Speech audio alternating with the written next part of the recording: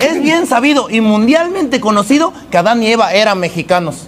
A ver, ¿de dónde sacas que Adán y Eva eran mexicanos? Adán y Eva eran mexicanos, Ah, carnal. ¿Por qué dices que Adán y Eva eran mexicanos? Andaban sin ropa, sin comer, sin casa, sin escuela, sin hospitales, nada pavimentado. ¿Y todavía les decían que era el paraíso? No.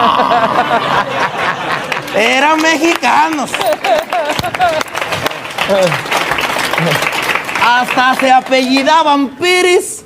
¿De dónde sacas que Adán y Eva se apellidaban Pérez? Eso sí lo leí, compa, de la Biblia. ¿Cómo va a decir eso en la Biblia, compadre? En la Biblia decía, Adán y Eva, si comen el fruto prohibido, perecerán.